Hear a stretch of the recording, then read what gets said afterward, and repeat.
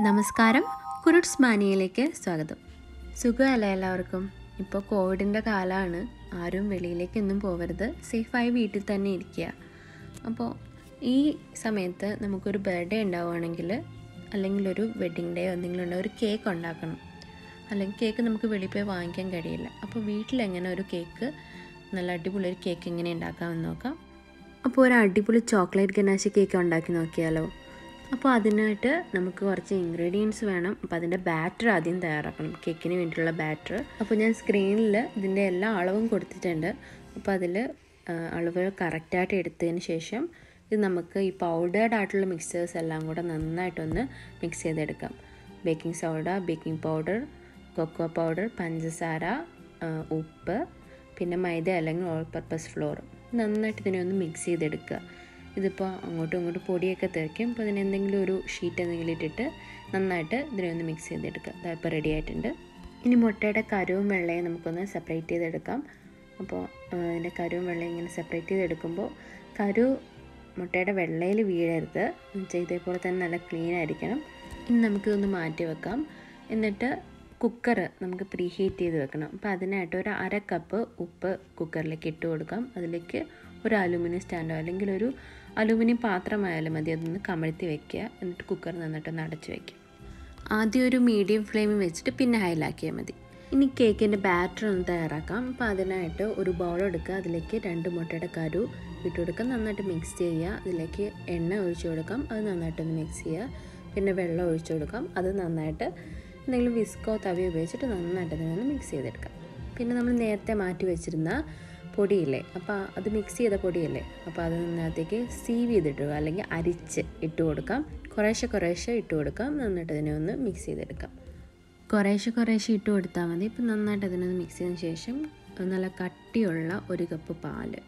കട്ടിയുള്ള പാൽ എടുക്കുന്നതാണ് അതിന്റെ ഒരു ടേസ്റ്റ് ഇപ്പം കട്ടിയുള്ള പാൽ എടുക്കുക. അപ്പോൾ നന്നായിട്ട് അതിനെ ഒന്ന് മിക്സ് ചെയ്തെടുക്കാം ഇനി നമ്മൾ നേരത്തെ മാറ്റി വെച്ചിരുന്ന രണ്ട് മുട്ടയുടെ വെള്ളം നന്നായിട്ട് അതിനെ ഒന്ന് പതിപ്പിച്ചെടുക്കാം നല്ലൊരു തവി എന്തെങ്കിലും വെച്ച് ഉപയോഗിച്ചിട്ട് ഇങ്ങനെ നന്നായിട്ട് പതപ്പിച്ചെടുത്താൽ മതി. കുറച്ച് സമയം എടുക്കും എന്നാലും കുഴപ്പമില്ല. എന്നിട്ട് ഇനി ചെയ്യുമ്പോൾ അതിനൊന്ന് പതുക്കെ ഒരു ക്ലോക്ക് വൈസ് ഡയറക്ഷനിൽ മാത്രം അതിനെ ഒന്ന് ഇങ്ങനെ ജസ്റ്റ് മിക്സ് ചെയ്ത് കൊടുക്കാം ഇങ്ങനെ നന്നായിട്ട് തന്നെ ഒന്ന് മിക്സ് ചെയ്ത് കൊടുക്കുക. അപ്പോൾ ഇത് റെഡി ആയിട്ടുണ്ട്. ഇനി ഒരു ആറ് ഇഞ്ചിന്റെ ഒരു പാത്രത്തിലും ഒരു എട്ട് ടു നയൻ ഇഞ്ച് ഇഞ്ചിന്റെ ഒരു പാത്രത്തിലും ഇട്ടിട്ട് നന്നായിട്ട് ഇതിനെ ഒന്ന് അതിന്റെ ബബിൾസൊക്കെ ഒന്ന് കളയാം. ഇനി നമ്മൾ നേരത്തെ പ്രീ ഹീറ്റ് ചെയ്ത് വെച്ചേക്കുന്ന നമ്മുടെ കുക്കറിലേക്ക് ഇതിനൊന്ന് ഇറക്കി വെച്ച് കൊടുക്കാം. ഇനി ഓവനിലാണെങ്കിൽ മുന്നൂറ്റി ഇരുപത്തഞ്ച് ഡിഗ്രിയിൽ വെച്ചിട്ട് ഇരുപത് മിനിറ്റ് നേരം വെച്ചാൽ മീൻ റെഡിയാവും ഇപ്പോൾ കുക്കറിൽ റെഡി ആയിട്ടുണ്ട്. നമ്മൾ ടൂത്ത് പിക്ക് വെച്ചിട്ട് നോക്കുമ്പോൾ നല്ല ക്ലീൻ ആയിട്ട് ടൂത്ത് പിക്ക് കിട്ടുവാണെങ്കിൽ നമ്മുടെ കേക്ക് റെഡി ആയിട്ടുണ്ട്. ഇനി നമുക്ക് ഇതൊന്ന് കൂളായ ശേഷം തണുത്തതിന് ശേഷം നമുക്കിതൊന്ന് പുറത്തെടുക്കാം. ഇങ്ങനെ കേക്ക് റെഡി ആയിട്ടുണ്ട്. ഇനി കേക്ക് ഒരു കത്തി ഉപയോഗിച്ച് ജസ്റ്റ് ഇങ്ങനെ റൗണ്ടിലൊന്ന് ജസ്റ്റ് ഒന്ന് കട്ട് ചെയ്ത് കൊടുക്കാം. എന്നിട്ടൊരു നൂലെടുത്തിട്ട് ആ കട്ട് ചെയ്ത ഭാഗത്തോട് കടത്തി വിട്ടിട്ട് ഇങ്ങനെ കെട്ടിയിട്ട് കഴിഞ്ഞാൽ നല്ല കട്ടായിട്ട് നല്ല സ്ട്രെയിറ്റ് ആയിട്ട് കട്ടായിട്ട് നമുക്ക് കേക്ക് കിട്ടും. അപ്പോൾ ഇത് രണ്ട് കേക്കായിട്ട് ഞാനിങ്ങനെ രണ്ട് സെയിം ഇതിലായിട്ട് ഞാൻ കട്ട് ചെയ്തെടുത്തിട്ടുണ്ട്. പിന്നെ ഒരു കപ്പ് വെള്ളത്തിൽ ഒരു കപ്പ് പഞ്ചസാര ഉപയോഗിച്ചിട്ട് ഷുഗർ സിറപ്പ് ഉണ്ടാക്കിയിട്ട് ഇതൊന്നും ഇങ്ങനെ ഒന്ന് കുതിർക്കാനായിട്ട് വെക്കാം. നമുക്ക് ബട്ടർ ക്രീം ഉണ്ടാക്കാം. അതിനായിട്ട് ഒരു കപ്പ് ബട്ടർ റൂം ടെമ്പറേച്ചറിലാക്കി ഞാൻ വെച്ചിട്ടുണ്ടായിരുന്നു. അത് നന്നായിട്ട് ഒരു ബീറ്ററോ എന്തെങ്കിലും തവി ഉപയോഗിച്ചിട്ട് നന്നായിട്ട് ഇതിനെ ഒന്ന് ബീറ്റ് ചെയ്തെടുക്കാം. എന്നിട്ട് അര കപ്പ് ഐസിങ് ഷുഗറാണ് ഉപയോഗിക്കുന്നത്. അതിനകത്തേക്ക് കുറേശ്ശെ കുറേശ്ശെ ഇട്ടിട്ട് ഒന്ന് ബീറ്റ് ചെയ്തെടുക്കാം. ഇനി ഒരു ടേബിൾ സ്പൂൺ വാനില എസൻസ് ചേർത്ത് കൊടുക്കാം. എന്നിട്ട് നന്നായിട്ട് ഇതിനെ ഒന്ന് ബീറ്റ് ചെയ്തെടുക്കാം. നല്ല ഫ്ലഫി ആയിട്ട് ഒന്ന് ഇതിനെ ഒന്ന് ബീറ്റ് ചെയ്തെടുക്കാം. ഇതാ ഇപ്പോൾ റെഡി ആയിട്ടുണ്ട്. ഇനി ഒരു കേക്ക് ബോർഡ് എടുക്കാം. അതിലേക്ക് കുറച്ച് ബട്ടർ ക്രീം തേച്ച് കൊടുക്കാം. കേക്ക് അതിന്റെ മുകളിലേക്ക് വെക്കാം. ഈ ബട്ടർ ക്രീം കുറച്ച് അതിന് മുകളിലേക്ക് ഇട്ടിട്ട് ഒന്ന് സ്പ്രെഡ് ചെയ്ത് കൊടുക്കാം. അതിലേക്ക് അടുത്ത ലെയർ കേക്ക് വയ്ക്കാം ഇനി ബട്ടർ ക്രീം അതിന്റെ മുകളിലേക്ക് തേച്ച് കൊടുക്കാം. അതിന്റെ എല്ലാ കോർണറിലും വരുന്ന രീതിയിൽ തന്നെ നന്നായിട്ട് അതിന്റെ എല്ലാ ഭാഗത്തും തേച്ച് കൊടുക്കാം. പൊടി ഉണ്ടെങ്കിൽ കുഴപ്പമൊന്നുമില്ല. നമ്മൾ ഗണാശയുടെ സോസ് ഒഴിക്കുമ്പോഴത്തേന് റെഡി ആയിക്കോളും. എന്നിട്ട് കേക്ക് ഫ്രീസറിലേക്ക് വെക്കുക. ഒന്ന് അല്ലെങ്കിൽ രണ്ട് മണിക്കൂറത്തേന് ഫ്രീസറിൽ തന്നെ വെക്കുക. എന്നിട്ട് ഇനി നമുക്ക് ചോക്ലേറ്റ് ഗണാശ എങ്ങനെ ഉണ്ടാക്കാമെന്ന് നോക്കാം. അപ്പോൾ ഒരു പാൻ വെക്കുക. അതിനകത്തേക്ക് വെള്ളം ഒഴിച്ചു കൊടുക്കാം. പഞ്ചസാര ഇട്ട് കൊടുക്കാം. എന്നിട്ട് നന്നായിട്ട് അതിനെ ഒന്ന് മിക്സ് ചെയ്ത് കൊടുക്കാം. ഇനി അത് അടുപ്പത്തിൽ നിന്ന് മാറ്റി വെക്കാം. എന്നിട്ട് നമ്മൾ ഈ ചൂടോടുള്ള ഈ ഷുഗർ സിറപ്പിലേക്ക് നമ്മൾ ചോക്ലേറ്റ് ഇട്ട് കൊടുക്കാം. അപ്പം ചോക്ലേറ്റ് നന്നായിട്ട് മെൽറ്റ് ആയിക്കോളും. അപ്പോൾ അത് ഇതിലേക്ക് ഇട്ട് കൊടുക്കാം. അപ്പോൾ നന്നായിട്ട് അതിനെ ഒന്ന് മിക്സ് ചെയ്തെടുക്കാം. എന്നിട്ട് കൊക്കോ പൗഡർ അല്ലെങ്കിൽ ചോക്ലേറ്റ് പൗഡർ ഇട്ട് കൊടുക്കാം. നന്നായിട്ട് അതിനൊന്ന് മിക്സ് ചെയ്തെടുക്കാം.